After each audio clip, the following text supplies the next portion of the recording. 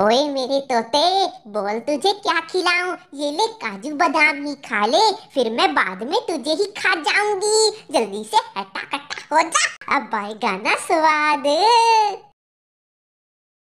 अरे, ये मिस्टी के घर में नया तोता कहाँ से आया? चलो, इसको थोड़ा खाना खिला देता हूँ। ओए मिट्ठू क्या हाल है तेरा? ये ले, काजू खा, काजू। यार, ये तो सच में बहुत प्यारा तोता है। चलो, ऐसा करते हैं। जल्दी से इसका पिंजरा खोल के आज़ाद कर देते हैं। पी पी पी भैया।